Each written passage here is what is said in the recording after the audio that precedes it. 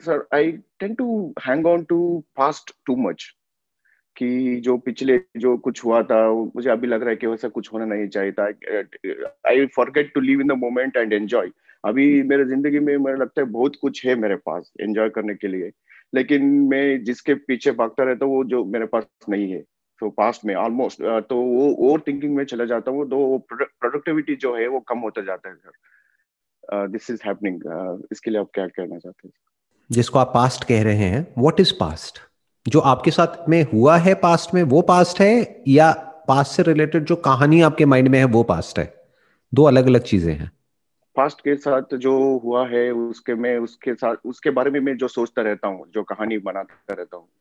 आपके माइंड में जो पास्ट है वो एक्चुअल में पास्ट नहीं है। वो बेसिकली पास्ट से रिलेटेड एक कहानी है जो आपने अपने माइंड में बनाई हुई है। जिस तरीके से आपने पास्ट को इंटरप्रेट किया है, जिस भी नज़रिए से पास्ट को देखा है तो वो कहानी आपके माइंड में घूम रही है।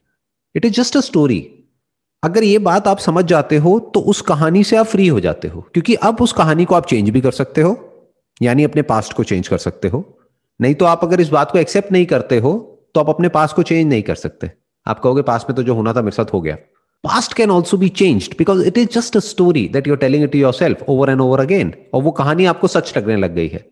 वो कहानी हो सकता है आप किसी और को सुनाओगे तो वो कहेगा, अरे नहीं नहीं, ऐसा नहीं है। जो आप कह रहे हो, उसको इस तरीके से भी तो इंटरप्रेट किया जा सकता है। उसका ये भी तो एक पर्सपेक्टिव हो सकता है उसको देखने का। आप ऐसे ही क्यों देख रहे हो? तो आपकी पूरी की पूरी कहानी का जो स्ट्रक्चर है वो टूट जाएगा। जैसे ही उस कहानी को क्वेश्चन किया जाएगा। पास्ट में हुआ वही जो होना था। बट उसको आप एक नज़र से देख रहे हो एक तरीके से इंटरप्रेट कर रहे हो। जैसे उस इंटरप्रिटेशन को चेंज करते हो तो पास्ट चेंज हो जाता है। आप उस कहानी के हीरो है ना? कोई और कहानी बना दीजिए अपने माइंड में पास्ट से रिलेटेड उसको किसी और नज़र से देखिए। Two questions. How to keep the mind calm? Uh, uh, अभी जो लाइफ में अप्स एंड डाउन होते रहते हैं अभी हम सोचते हैं कि when nothing is going on I feel like okay I can I can keep myself calm लेकिन जब मैं सिचुएशन में होता हूँ तो मैं अलग पर्सन होता हूँ क्योंकि मैं I see lot of changes in my emotions तो I can observe that in myself तो इसके लिए सोल्यूशन क्या है? जब एक्चुअल उस मोमेंट में हम रहते हैं जैसे कि आप मैं आपको मैं देखा हूँ आप जब जब भी आपको देखता हूँ आपको लगता है एक काम माइंड है एक ऑलमोस्ट जो भी कुछ आपको बैकग्राउंड में चलता है लाइफ में उससे आपको फ़र्क नहीं पड़ता है। जैसे कि आपको देखा होगा एम एस धोनी जो वो, वो खेलता है तो खुल के खेलता है। So he doesn't, looks like he doesn't care about what people are thinking and उसको pressure he he will never take on the pressure. तो ऐसा माइंडसेट कैसे डेवलप करना है सर देखो, दो अलग अलग चीज़ें हैं। एक है कि आप बाहर से काम दिख रहे हो, दूसरा है कि अंदर से एक्चुअल में काम हो। ज़रूरी नहीं है जो बाहर से आपको काम दिख रहा है या पीसफुल लग रहा है, वो एक्चुअल में अंदर से भी पीसफुल है। So number one is don't think कि वो ऐसा है या वो वैसा है या वो वैसा नहीं है वॉट एवर राइट तो क्या होगा? आप अपने आप को उनसे कंपेयर नहीं करोगे। या आप अपने अजम्पन्स नहीं बनाओगे कि वो ऐसा है। फॉर एग्ज़ाम्पल आप मेरे बारे में कुछ सोच रहे हो। आपको नहीं पता कि मैं एक्चुअल में अंदर से काम हूँ पीसफुल हूँ, या बहुत ही एजिटेटेड हूँ, या बहुत ही गुस्से में रहता हूँ। यू डोंट नो दैट हो सकता है बाहर से मैं प्रिटेंड करता हूँ। सेशन के टाइम पे या ऑनलाइन ये जो मेरे सेशंस होते हैं, कुछ होते हैं, वहाँ पे मैं अपने आप को बड़ा ही cool and calm and compose दिखाता हूँ, लेकिन अंदर से हो सकता है मैं बहुत परेशान हूँ। इसका उल्टा भी हो सकता है। पब्लिक में हूँ, लोगों के साथ में हूँ, तब हो सकता है मैं थोड़ा सा आपको एजिटेटेड भी लगता हूँ, लेकिन हो सकता है अंदर से मैं बिल्कुल ही पीसफुल हूँ। तो पहले इन दोनों चीज़ों में हमको फ़र्क देखना है। आप जो बात कर रहे हैं, आप ये नहीं कह रहे कि बाहर से काम लगना चाहिए मुझे, क्योंकि वो इंपॉर्टेंट है ही नहीं। पॉइंट ये है कि कैसे हम अंदर से काम रहे, बाहर से चाहे जो मर्ज़ी हम दिखते रहे, क्योंकि कोई सिचुएशन आएगी तो वहाँ रिएक्ट तो करना ही पड़ेगा ना। अगर आप कोई काम कर रहे हैं वहाँ पे एकदम से बहुत सारा काम आ जाएगा तो आपको जल्दी जल्दी जल्दी जल्दी करना पड़ेगा ना काम। आप रिलैक्स होकर के तो नहीं बैठ सकते ना अगर एक डेडलाइन है शाम तक आपको काम खत्म करना है तो जल्दी तो करना पड़ेगा ना। मानो फ़्लाइट पकड़नी है और सिर्फ़ दो घंटे रह गए हैं और तीन घंटे का रास्ता है तो जल्दी करना पड़ेगा ना नहीं तो फ़्लाइट छूट जाएगी। सो so, एक है बाहर से काम लगना एक है अंदर से काम होना। तो सवाल ये उठता है कि अंदर से माइंड काम कैसे होता है? तो उसको छोड़ देते हैं कि माइंड काम कैसे होता है पीसफुल कैसे होता है। आप बताइए कि माइंड डिस्टर्ब क्यों होता है? माइंड डिस्टर्ब इसलिए होता है कि सर कि हम सोच सोचते हैं कि ऐसा होना चाहिए था तो ऐसा नहीं हो रहा है। और जो जो कुछ भी मेरे पास नहीं है होना चाहिए था वो नहीं है। एक मिनट इसको थोड़ा ब्रेक डाउन करते हैं। आप कह रहे हैं ऐसा होना चाहिए था वैसा नहीं हुआ है। कैसा होना चाहिए था? वैसा जैसा आपको लगता है कि होना चाहिए था या जैसा हुआ? हुआ तो वही जो होना चाहिए था। बट आप क्या कह रहे हैं? ऐसा नहीं होना चाहिए था, ऐसा होना चाहिए था। तो बेसिकली हम क्या कर रहे हैं? जो हुआ, उसको अपने तरीके से इंटरप्रेट करके जो हो चुका है, उसको एक्सेप्ट करने की बजाय हम कह रहे हैं, नहीं, ऐसा नहीं, ऐसा होना चाहिए था। इस इंसान को ऐसा नहीं, ऐसा होना चाहिए। उसको मेरे साथ में ऐसा नहीं, ऐसा बिहेव करना चाहिए। मुझे यहाँ नहीं होना चाहिए, मुझे वहाँ होना चाहिए। वो दो साल पहले ना ये नहीं होना चाहिए था, वो होना चाहिए था। आपकी तबीयत खराब है बट आप कह रहे हो नहीं मेरी तबीयत खराब नहीं होनी चाहिए। बाहर बारिश हो रही है बट आप कह रहे हो बारिश नहीं होनी चाहिए। तो प्रॉब्लम क्या है? बारिश होना प्रॉब्लम है या आप कह रहे हो कि बारिश नहीं होनी चाहिए ये प्रॉब्लम है?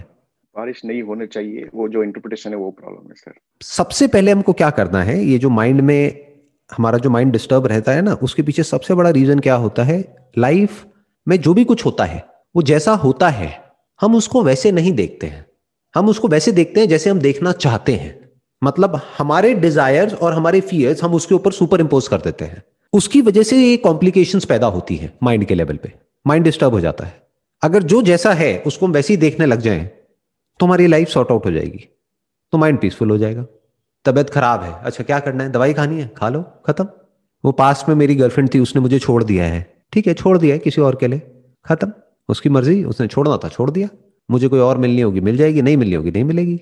सिंपल मतलब बेसिकली माइंड को पीसफुल रखना और सॉर्ट आउट रखना या काम रखना, उसका तरीका क्या है?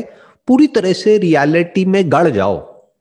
मतलब जो जैसा है, उसको एज इट इज़ देखो। ये देखना लोगों के लिए बड़ा मुश्किल हो जाता है। फॉर एग्ज़ाम्पल डेथ लाइफ की एक इतनी बड़ी रियलिटी है और हम उसको डिनाई करते रहते हैं। मेरे उसकी डेथ हो गई, नहीं होनी चाहिए थी। क्यों नहीं होनी चाहिए थी? हो गई ना। Why are you not accepting it accept it रोना है जितना रो लो, उस वक्त। कुछ दिन तक रोना है, रो लो। कोई ब्रेकअप हो गया है, बुरा लग रहा है, रो लो। खुल के रो लो। उसके बाद में इस बात को देख लो कि जो होना था, वो ही हुआ। उससे इतना सा भी अलग नहीं हुआ। यानी अगर किसी ने आपके साथ में कुछ किया है गलत तो उसने वही किया है जो अगर आप उसकी जगह पर होते तो आप उसके साथ करते। इतना सा भी अलग नहीं किया है। अगर आपका भी एग्जैक्ट वही बैकग्राउंड होता, वही सब कुछ होता, जिस तरह से उसकी अपब्रिंगिंग हुई है, वही सब आपके साथ हुआ होता, आप भी वही करते। होना तो वही होता है जो होना होता है। जैसे बोलते नहीं, होनी को कौन टाल सकता है? ये कहावत आपने सुनी होगी अपने घर में। लोग क्या करेंगे? इसके एक्सट्रीम में चले जाएँगे। मतलब क्या कहेंगे? अच्छा इसका मतलब जो होना है, सो होना है, इसका मतलब कुछ भी मत करो। अरे, जो आपका करना है, वो भी उसी होने का पार्ट है। तो करो। जो मिलना है या नहीं मिलना है, वो भी उसी होनी का पार्ट है। लेकिन होना वही है जो होना है। ये इतनी सी बात हमको समझ आनी चाहिए कि ये जो बातें मैं कर रहा हूँ ना आपके साथ में, ये दुनिया में बहुत लोग करते हुए मिलेंगे। लेकिन वो ऊपर ऊपर लेवल से करते हैं। जैसे किसी की डेथ हो जाती है तो एक डायलॉग आपने सुना होगा, अरे, जो आया है वो जाएगा। तू जाने के लिए तैयार है? कल तू जा सकता है अंकल। जाएगा? नहीं नहीं नहीं नहीं, बेटे, क्या बोल रहे हो? अगर आप ये बात बोल रहे हो कि जो आया है वो जाएगा तो ये बात आप पे भी अप्लाई होती है। You should first accept it yourself completely and then say it otherwise don't say it तब जो आप बोल रहे हो और जो कर रहे हो, वो एक ही है। तब हमारा माइंड पीसफुल हो जाता है। तो this very understanding of the reality frees your mind from what should be then what remains is what is फिर सिर्फ़ वो बचा रह जाता है जो है।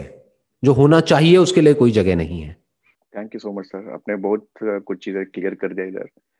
क्योंकि लाइफ है कि sir at every given point of time every moment it's millions of possibilities are there तो इसलिए कि माइंड उधर इधर भागता ही रहता है, भागते रहते क्योंकि ओके मेरे को वो चाहिए था, वो ये चाहिए था। तो माइंड एक बार टिकता नहीं। जैसे कि आपने बोला acceptance is the real solution जो जो है, उसको एक्सेप्ट करना चाहिए।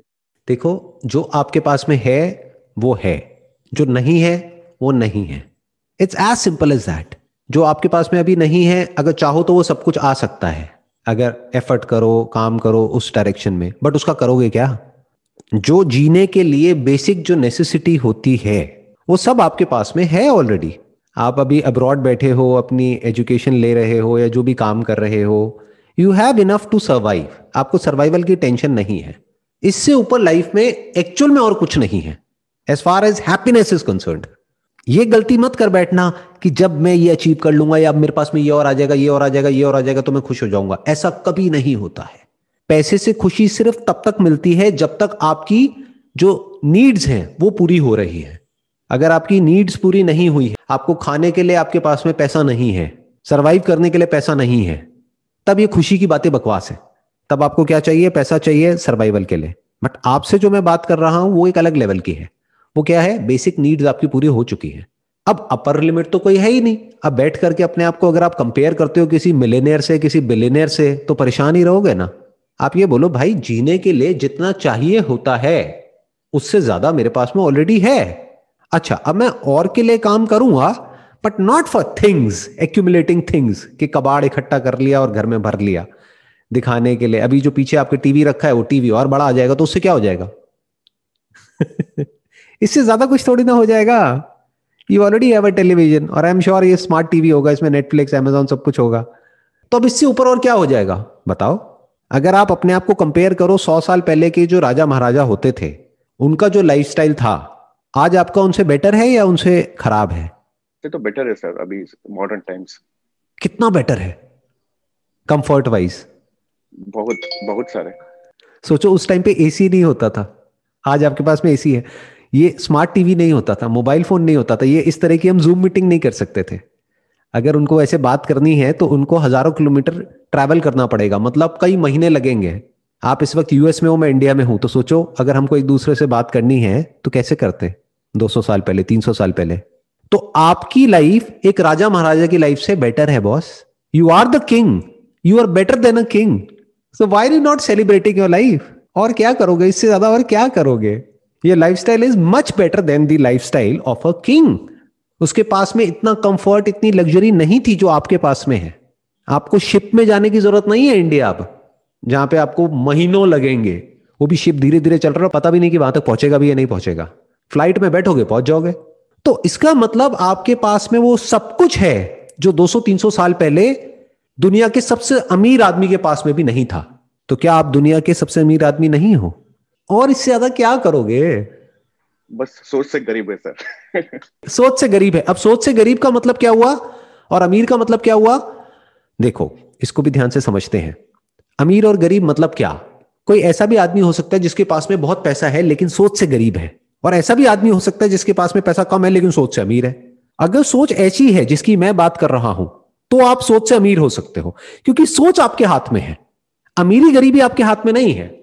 That depends upon a lot of factors which are beyond your control but सोच तो आपके हाथ में है ना।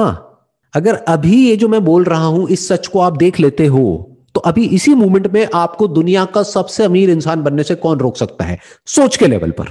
I am the richest man on this planet अपने आप को ऐसे बोलो। अब यहाँ से शुरू करो। अब अगर और आ गया तो ठीक है। अब आपको शेयर करने में भी दिक्कत नहीं होगी। नहीं तो अगर सोच रही गरीबों वाली तो किसी सौ डॉलर देने में भी जान निकल जाएगी। मैं उसको कैसे दे सकता हूँ? तो इसका मतलब सोच से आप गरीब हो। सोच से अमीर और गरीब का मतलब क्या? जो शेयर कर सकता है वो सोच से अमीर है। वही तो शेयर कर सकता है। चाहे उसके पास कम है चाहे ज़्यादा है। जिसकी जरूरतें कम है वो सोच से अमीर है। कमाई ज़्यादा जरूरतें कम और शेयर करने में कोई दिक्कत नहीं। वो सोच से अमीर है। ऐसे बनो। ऐसे बनने से कौन रोक रहा है आपको? अभी बन जाओ। दस साल बाद क्यों बनना है? बीस साल बाद क्यों बनना है? तो एटलीस्ट लाइफ के एक एस्पेक्ट से आप पूरी तरह से फ्री हो गए। ये जो अपने बीस साल आप खराब करने वाले थे ना कि अब बीस साल में ये होगा, तब जा करके मैं खुश होऊँगा, एक दिन ऐसा आएगा, जब मेरे पास में ये सब कुछ होगा, तब मैं खुश होऊँगा। ऐसा कुछ नहीं है जी। बीस साल बाद भी आप अगर अपने आप को देखोगे तो आपसे बीस कदम आगे करोड़ों लोग मिल जाएँगे। फिर तब भी आप सोच से गरीब हो। आज भी सोच से गरीब हो तो फ़ायदा क्या हुआ? बीस साल खराब कर दिया ना अपनी लाइफ के। बीस साल तो एंजॉय किया ही नहीं। बस भागते रहे गधों की रेस में। तो आज ही अमीर हो जाओ यार। बी रिच टुडे और जो सोच से अमीर है, वो खुश है। जो सोच से गरीब है, या एक्चुअल में गरीब है, वो दुखी है। ये दो लोग दुखी हैं। या तो एक्चुअल में गरीबी है तो वो कोई अच्छी स्टेट नहीं है जीने के लिए। जब एक्चुअल में खाने के लिए नहीं होता है, वो एक बहुत बड़ी प्रॉब्लम है। तो जो एक्चुअल में गरीब है, वो दुखी है, या जो सोच से गरीब है, वो दुखी है। तो आप एक्चुअल में तो गरीब नहीं हो। सोच के लेवल पे गरीब हो, सोच के लेवल पे अमीर हो जाओ। Topic close